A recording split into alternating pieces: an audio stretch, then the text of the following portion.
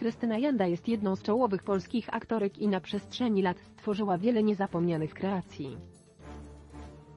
Ostatnimi czasy skupia się na prowadzeniu własnego teatru i to właśnie on jest obecnie jej największym zmartwieniem. Prowadzenie biznesu nie jest łatwe i aktorka przyznała, że została zmuszona do podjęcia trudnej decyzji. Krystyna Janda się boi i mówi o tym wprost. Podobnie jak reszta koleżanek i kolegów z branży artystycznej zmuszona była ostatnio udać się na przymusowy urlop i chociaż dodatkowe dni wolne przeważnie są powodem do radości. To w tym przypadku przyniosły jednak więcej zmartwień i spowodowały dramat w życiu aktorki. Krystyna Janda jest ceniona za swój warsztat oraz wieloletnie doświadczenie na scenach całej Polski. Ponieważ nie stroni od wypowiadania się na aktualne tematy społeczne oraz polityczne. Często jest zapraszana jest do programów, gdzie opowiada o swoich doświadczeniach oraz proszona jest o komentarz.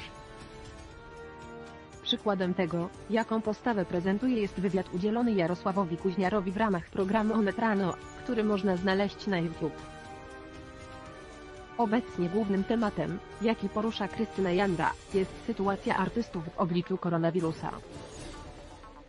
Okazuje się, że gwiazda musiała podjąć trudną decyzję i teraz nie jest pewna swojej przyszłości.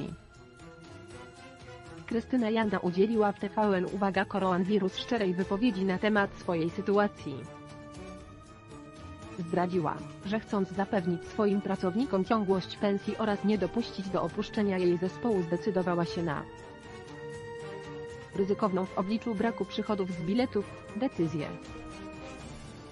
Boję się bankructwa. Boję się jak wszystkie teatry, dlatego ruszyliśmy między innymi jako jedno z trzech, czterech miejsc w Warszawie w tej chwili. Wzięliśmy dość dużą pożyczkę, żeby płacić pensje naszym pracownikom.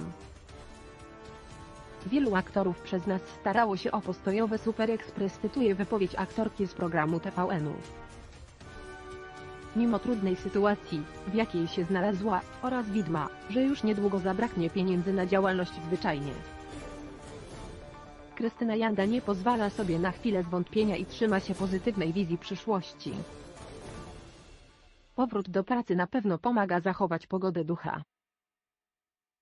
Od momentu,